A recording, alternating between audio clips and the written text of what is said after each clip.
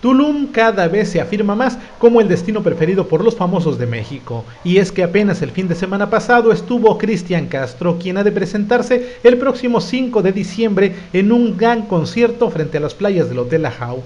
Ahora fue el elenco en pleno de la obra teatral Tres parejas disparejas, constituido por Maribel Guardia, Andrés García, Gabriel Soto, Arturo Carmona, Malinali Marín, David Rivero y Benito Castro. Ellos están desde ayer en el Hotel Diamante K, del también actor Roberto Palazuelos, quien es además presidente de los hoteleros de Tulum.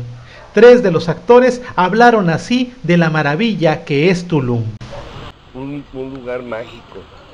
De, de entrada, el, saber que nuestros ancestros tenían un poder de observación desde Tulum, donde podían este, ver la llegada de, cualquier embarcación con días de anticipación, y así como sabían de la luna y del sol, sabían de todos estos vatos. Y ahora sí voy a hablar de esta chiquita linda que se llama Malillani, que mala onda soy, se llama David.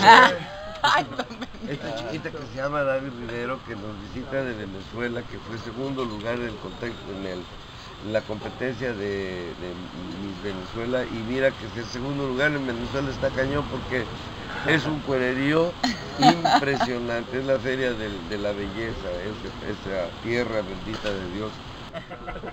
Víctor Cayo Arturo Carbón es un excelente actor, un ser humano fuera de serie. Qué bonito venir a disfrutar de, lo que tenemos, de lo que Dios nos dio en este precioso país y siempre es grato regresar a, Tulum, regresar a la Riviera Maya y obviamente ver a gente extranjera, ver a eh, gente europea, centroamericana, sudamericana que viene a disfrutar de nuestras riquezas, pues me honra mucho y es un orgullo.